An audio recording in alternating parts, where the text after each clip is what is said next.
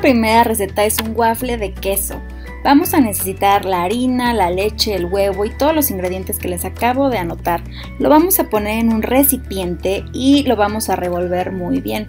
Acuérdense que si no tienen ghee, no se preocupen, pueden usar aceite, por ejemplo, aceite de aguacate o aceite de oliva extra virgen. Y este es el queso panela untable que estoy usando, que lo compré en Superama y de hecho en un video de los mejores lácteos se los recomendé. También lo venden en Walmart, creo. Y bueno, vamos a poner también el polvo para hornear y lo vamos a condimentar. Acuérdense que las especias son las que ustedes quieran. Yo le estoy poniendo sal con ajo, hierbas de olor y pimienta negra. También le pueden poner otro queso fresco, por ejemplo, cottage o le pueden poner queso ricota. O sea, esto nada más es por si no consiguen el panela que les estoy diciendo. O de hecho también le podrían poner el panela rallado, un panela tradicional rallado. Después lo vamos a poner en una guaflera, si no tienen guaflera lo pueden hacer tipo hot cake, sería cosa de que nada más lo pusieran en un sartén y nos va a salir un waffle. Pero si los hacen más chiquitos, por ejemplo en un sartén, les pueden salir varios hot cakes, pues de un tamaño más pequeño obviamente.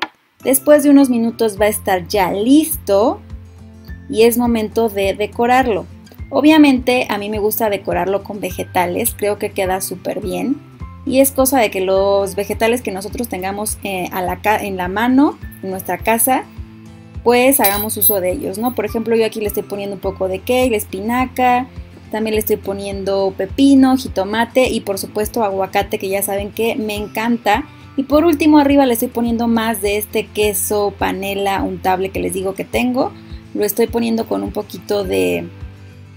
como en un plástico lo metí para que así se vea bonito. Pero pues esto es totalmente opcional. Y entonces esta es nuestra primera receta, puede ser un desayuno, puede ser una cena, dependiendo de los objetivos de cada quien.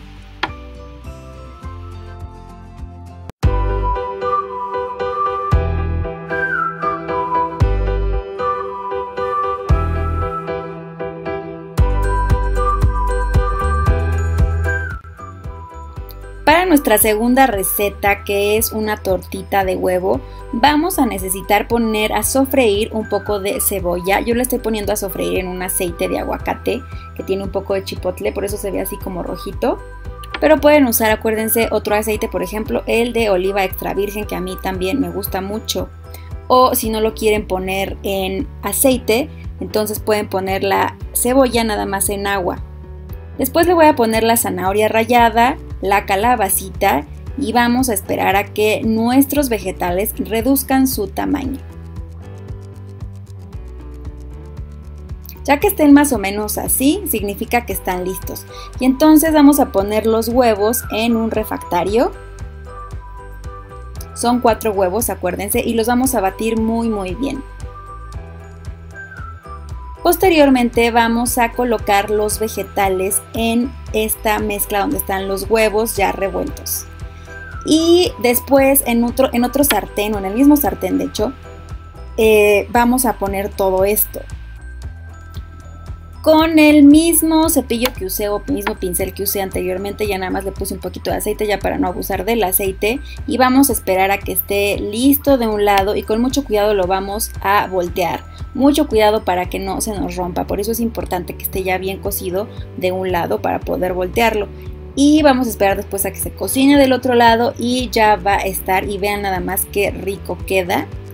Salen dos porciones, entonces está ideal por ejemplo si lo quieren este, cenar y al día siguiente lo quieren desayunar o si lo quieren compartir. A mí la verdad me gusta mucho para cenar y al día siguiente si estoy a las carreras también lo desayuno, aunque lo ideal acuérdense es que estemos dándole variedad a la dieta.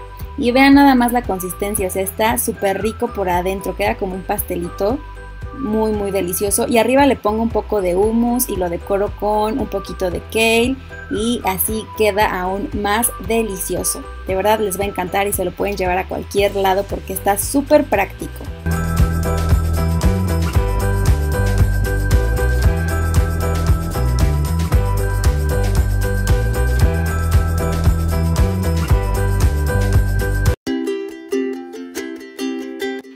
Tenemos nuestra última receta que son unos hot cakes de naranja, que de verdad a mí me encantan. La receta original son unos hot cakes de limón, pero yo le cambié y lo hice de naranja. Entonces vamos a poner todos los ingredientes de nueva cuenta en un refractario y lo vamos a revolver muy bien. O sea, está muy muy fácil de hacer esta receta.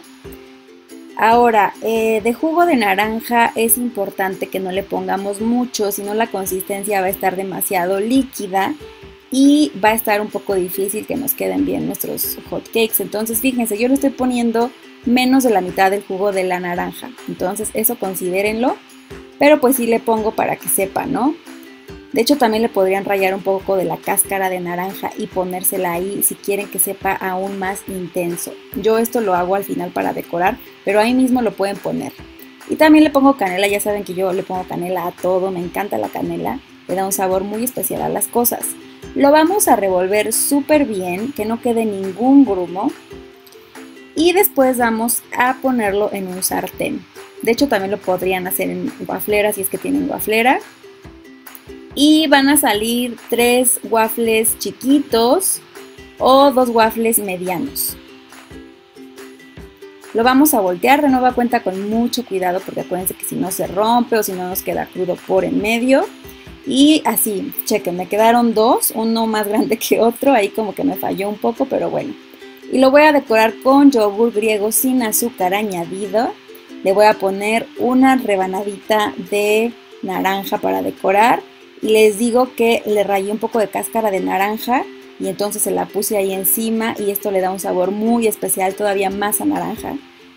Y queda de verdad delicioso, es un desayuno o una cena que me encanta. Entonces, bueno, espero que les gusten mucho estas recetas, que los inspire a comer más saludable y que si hacen estas recetas, acuérdense, mándenme su foto, etiquétenme en sus redes sociales. Y muchas gracias, nos vemos próximamente con más videos.